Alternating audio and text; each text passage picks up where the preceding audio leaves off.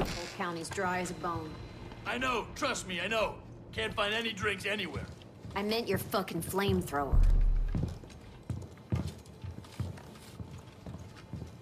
Me and Daddy got along just fine without you, thanks for asking, Mama.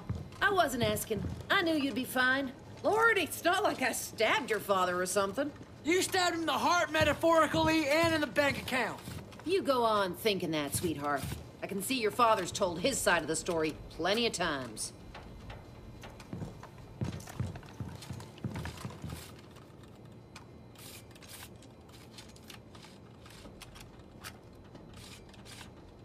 You got your bow hunting license, Jess? You got your flamethrowing license, Sharky? You don't need one. Well, that's fucking terrifying news.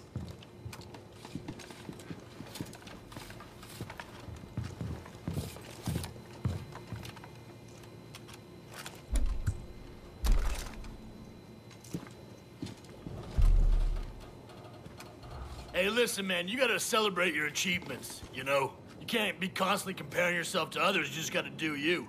Like, I ain't rich like my auntie or world-renowned famous like my cousin Hurk, but What I'll up, tell you what, I got the biggest piss bottle collection you could imagine. It Takes up a whole closet.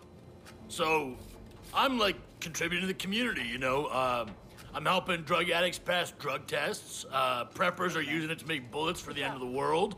And um, health nuts are drinking it. So, yeah, that's me. I'm just doing me.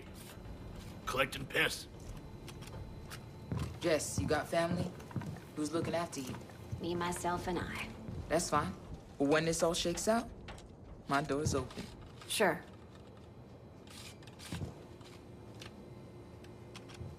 Just get one thing clear, okay? I'm not never gonna call Xander my daddy. Don't you worry about that. I'm keeping him the hell away from you. Well, good. I thought you were gonna try and make us a family or something. I want that about as much as I want a yeast infection. You had it rough. What up? You got a crush on Fox Robin Hood too, Jess? Seriously? I figured because of the bow and all. Just saying. I'd wear a tail and ears for you. Never go full furry, Sharky. He'll never come back. Hurk, I'll say this only once or twice, so listen up. Yeah?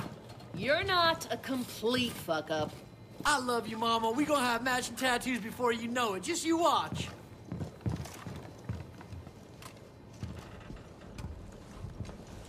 You made some real progress here. Helping save this little region of the world. I wasn't asking. Amen. I knew you'd be fine. Lord, it's not like I stabbed your father or something.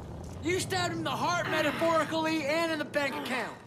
You go on thinking that, sweetheart. I can see your father's told his side of the story plenty of times. If you ever see me be dumb or say something that's really stupid, it ain't real. See, I heard that laughter's good for pregnant mothers. So, like one of those Hollywood actors, I decided to act like a dingbat and stay in character 24 7. This way, if Kim's around, I got a chance to make her laugh.